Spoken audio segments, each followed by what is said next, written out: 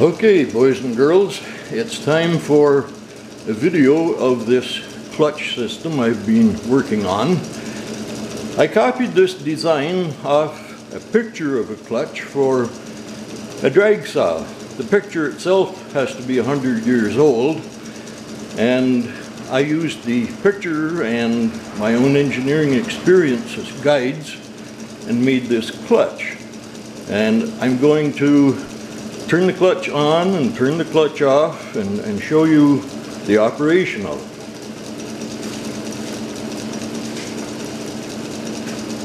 The clutch is disengaged as it sets. I'm going to put my hand up on the lever and engage it. There we have it engaged. There we have it disengaged.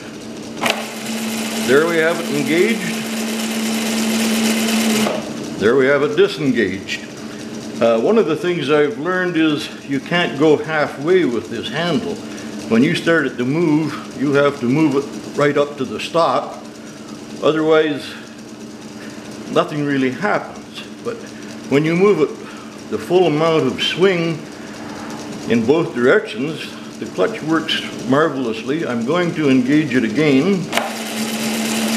And there we are, the clutch is engaged and it's driving the smaller sprocket. And now I'm going to disengage it.